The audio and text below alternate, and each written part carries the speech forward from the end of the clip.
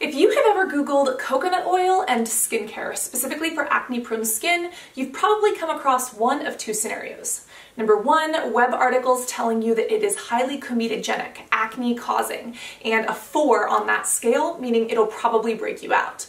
And on the other hand, a lot of people say that coconut oil is like a miracle oil, amazing at hydrating the skin and has actually helped with many hormonal acne breakouts.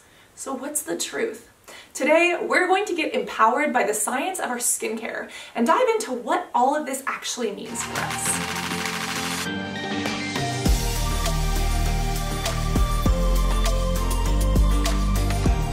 You have acne-prone skin, someone has probably told you to stay away from coconut oil.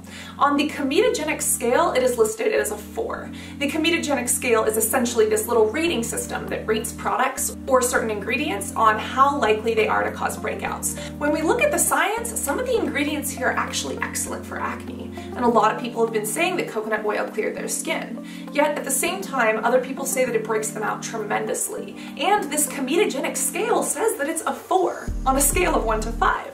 So what's the actual truth? Well, it's interesting because the research doesn't actually point to the results that we've been told, and the science of the skincare might be a little bit flawed. So let's talk about exactly what's going on and the three main issues. The first main issue is that the comedogenic scale isn't actually legit. About half of it is BS, and we're gonna dive into what that means for coconut oil. Secondly, not all coconut oil is created the same. And third, the pathology of acne. What's actually happening in our skin? And do the triglycerides, the little fats in coconut oil, actually get where they need to go in order to penetrate the skin, hydrate, or do any damage or any good? Let's talk about the first main problem, which is this comedogenic scale. Comedogenic means likely to cause acne or clog pores. And dermatologists and scientists started studying specific ingredients in products about 50 years ago to see if they would cause blackheads or acne lesions. Now here's the problem. They did a lot of this testing on rabbit ears. And I've got a question.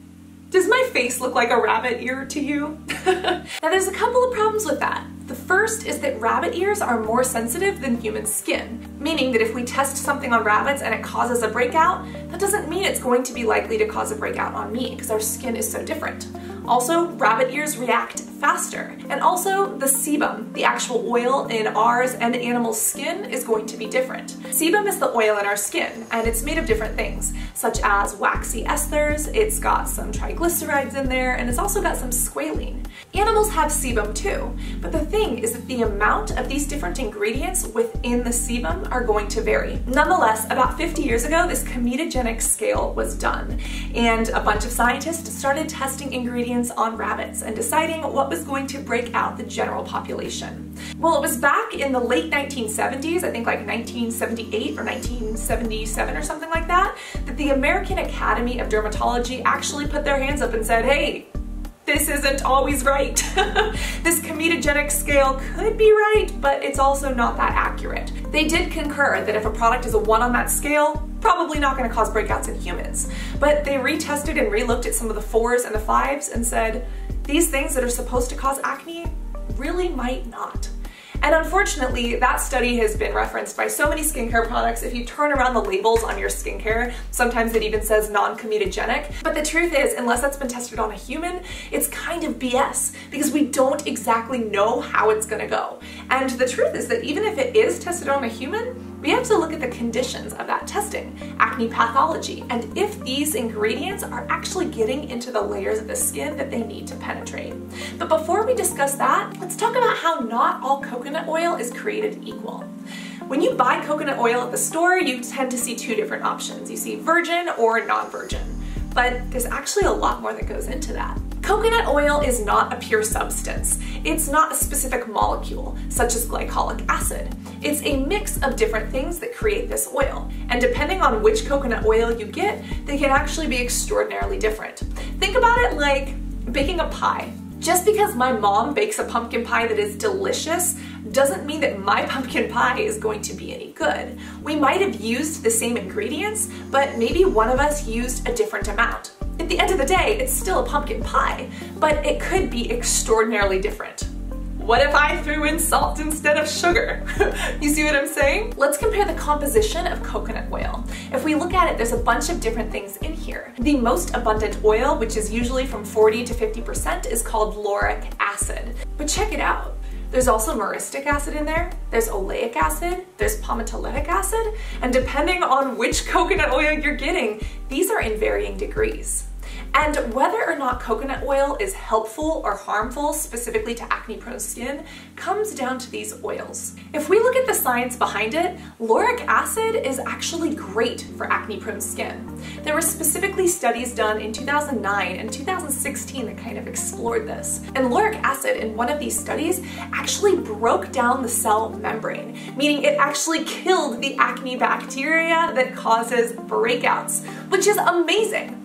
But then the question becomes, can this lauric acid actually penetrate into the skin? Unfortunately, the molecule of lauric acid is a bit too big to get into the skin where it needs to go. And when you think about it, our skin is always producing sebum, so anything that goes in might get pushed out.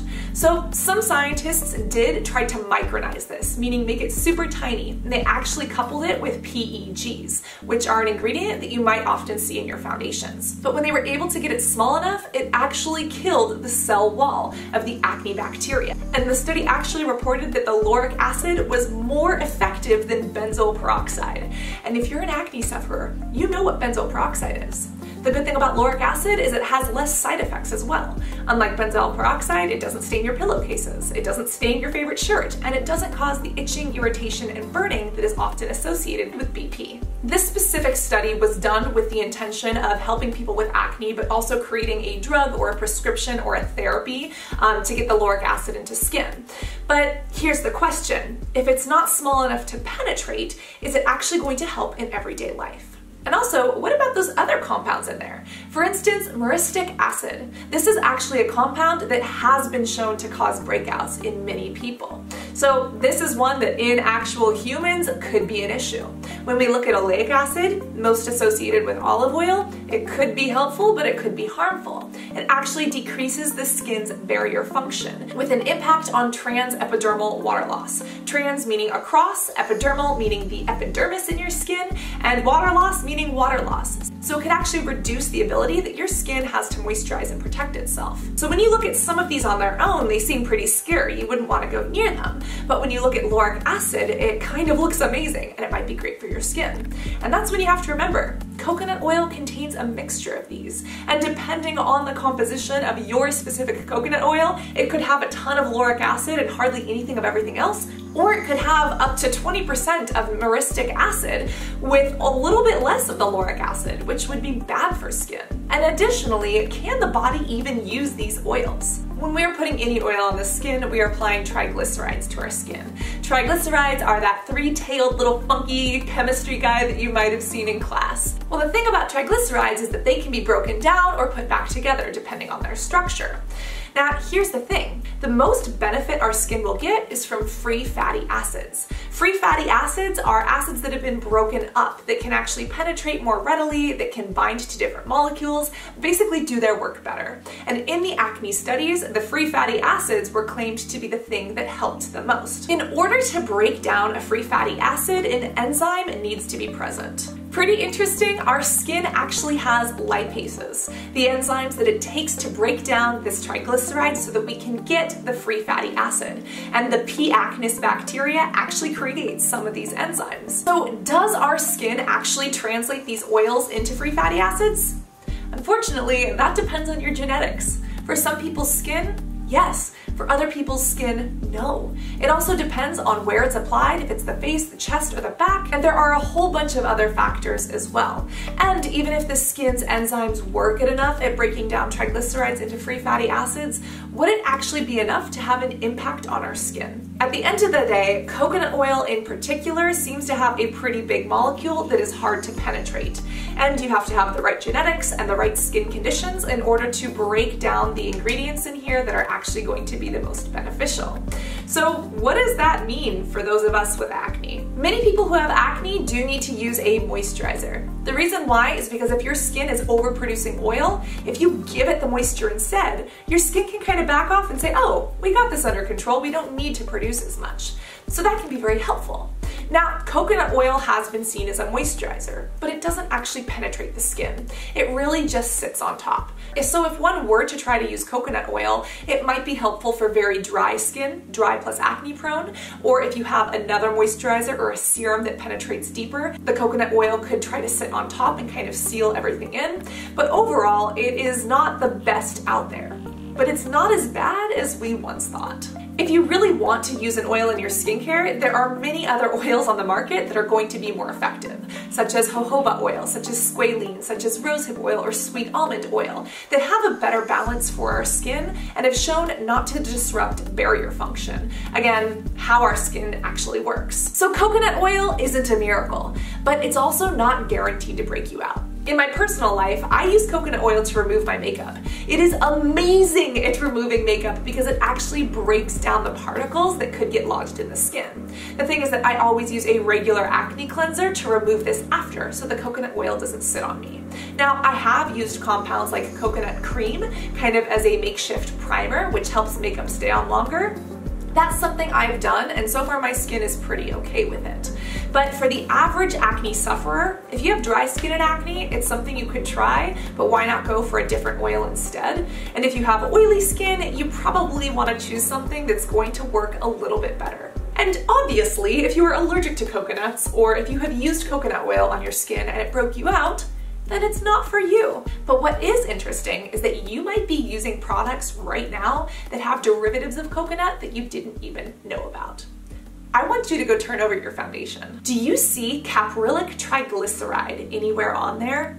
Caprylic triglyceride is actually derived from coconut oil, and it's usually mixed with water. Now, caprylic triglyceride is not the same as coconut oil, but it does have some similarities, and it's in a ton of foundations. So if you've been using a foundation that has this ingredient and you haven't broken out, maybe coconut oil is not that bad for you, or maybe your skin is not as sensitive to it as you might have thought.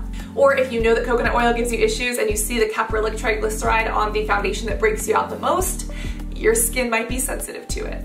I know that buzzwords and trends are interesting, but remember that they're not always there for us. A lot of marketers put them in just to sell more products. And at the end of the day, when it comes to coconut oil, if you're going to use it, use the real stuff, not a combined product, but don't waste your money. There's other oils out there that are going to be more beneficial for your skin. If you want to learn how to read your cosmetic labels the right way, you can watch that video here. And if you want to see how I use coconut oil in my skincare routine, you can watch that here. Hit subscribe and the ding dong bell for more videos about acne and skincare, and hit the thumb if you learned a little something, preferably the up one. Always remember to be beautiful inside and out, and I cannot wait to see you in the next video. Love you guys!